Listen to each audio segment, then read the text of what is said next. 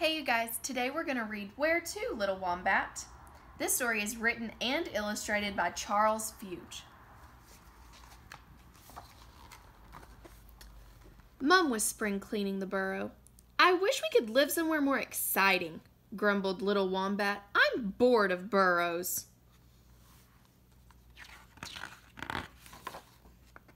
Well then, said Mum, why don't you go and see if you can find somewhere better?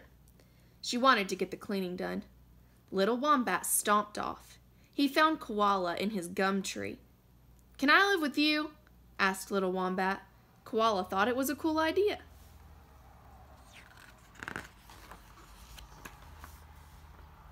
But wombats aren't built to climb trees.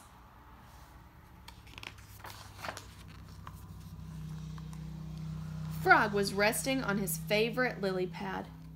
Can I live with you? asked Little Wombat. Frog thought it was a fantastic idea.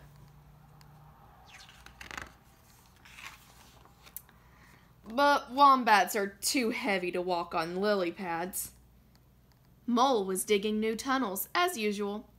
Can I live with you? asked Little Wombat. Mole thought it was a marvelous idea. But Wombats are much bigger than moles.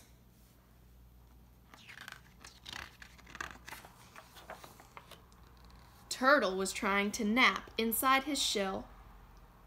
No room here, said little Wombat. No room there. But the ants knew of a great big nest nearby. Little Wombat was just making himself comfortable when angry Mrs. Emu appeared and shooed him away.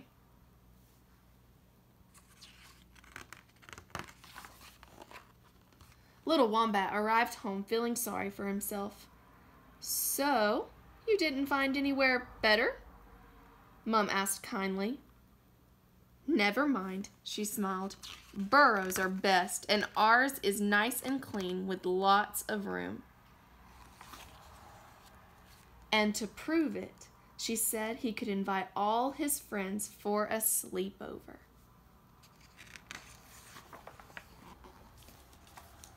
The end.